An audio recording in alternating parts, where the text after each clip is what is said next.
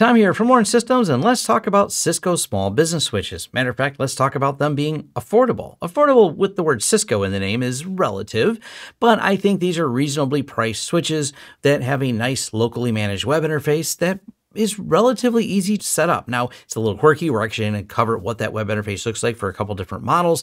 And I will mention the dashboard, which uh, Cisco reached out to me on.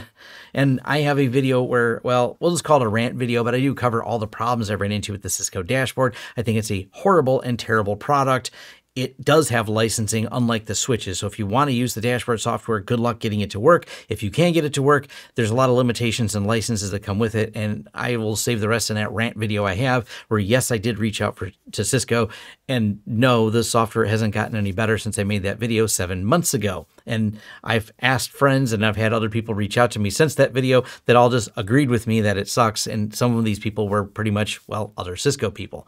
Back to the topic of the switches.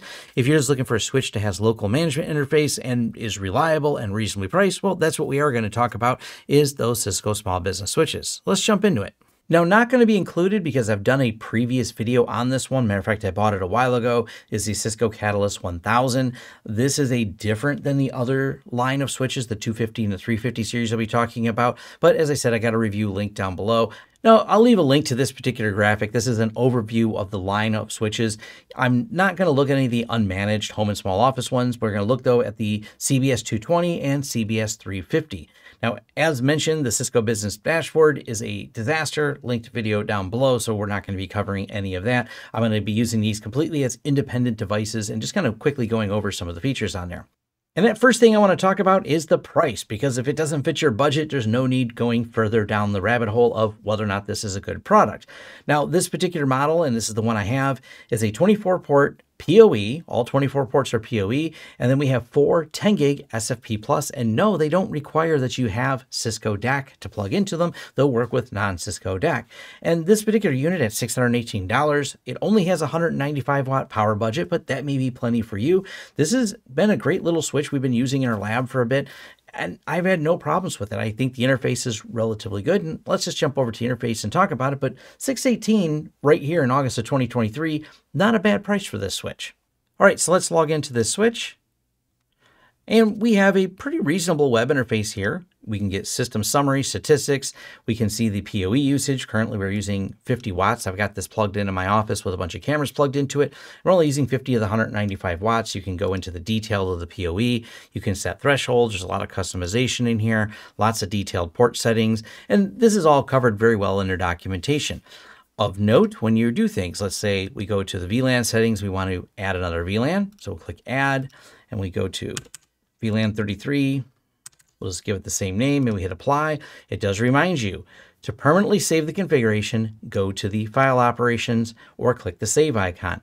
When you apply something in these Cisco switches, it applies it to the running config, but not the boot config. As in, if you reboot the switch, those settings will just go away. And to make them permanent, you click the save and then it'll be available at boot time. And I like that it does remind you each time and you get this little icon at the top right here that you can click save and then save the configuration on here. And the next one I want to talk about is the Cisco Small Business CBS 350 8P2G. I've been using this in my studio for a while to run a handful of things. It's actually worked really well, but there is definitely some more quirkiness with the CBS 350 series than there was with the 220 series, which is a little odd to me. You'd think the 350 being higher end wouldn't have some of this quirkiness. And the first quirkiness I want to show is the login page. That's not me doing anything with the video here. It didn't freeze. It just pauses this long to load the page. And every subsequent page loads a little bit faster than the login page, but not that much faster. This is actually kind of a pain. That I don't really understand why it's like this, but it's just very slow motion when you're doing things. Now, the good news is once you've configured a bunch of switch ports, you usually don't spend a ton of time in a switch, but just be aware it will test your patience going through and setting things up because there's a lot of pausing that this does. And this is normal. I've tried this on more than one model. The web interface is just made like this. The cool thing that the 350 series has is configuration wizards though. Now, now the page is loaded the first time, we're going to be able to get a little bit faster. Don't worry, it's it's getting there. Come on, let's get to that configuration wizard. It'll come up. There we go. And yes, that's completely normal behavior in here to pull up the wizard. The settings we're going to go through is a little less painful, but the wizard's definitely like clicking through slow motion. I'm probably going to fast forward some of this video in a second here if it doesn't load because I don't want to bore the audience. Oh, there we go. It loaded without me fast forwarding. VLAN Configuration Wizard. I think this is a great feature because if you're not familiar with setting up VLANs on Cisco, you're a little new to it, this will walk you through creating the VLANs, clicking on the ports. You can actually say, hey, let's grab the ports I want to tag with different VLANs, and you can next yes your way through configuring this and setting it up. I think this is a really cool feature that this particular device has. Now let's go over and look at like the status and statistics. These pages load a lot better than the login page and the page related to the wizard. So you can still go here and click on each one of these ports. It'll bring you right to the port setting. So they've added some extra features. which is probably why this is slower than a 220, but it gives you all these features right here. And I think this is pretty reasonable. You get all the cool features that you can easily access and see what's plugged into each one of the ports on the switch.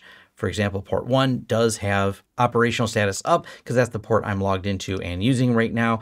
But overall, this switch has been trouble free. I've been using it for a while just for some lab stuff and it works quite well. Now, something I will note, the Cisco Catalyst 1000 switch that I mentioned in the beginning has a light version of Cisco IOS, but the 220 and 350, they do not have IOS. You can SSH or even they have Telnet as an option, log into them from a command line terminal. They do have the ports on the back so you can do it physically via a Cisco serial cable, but you're not going to find IOS under the hood of these.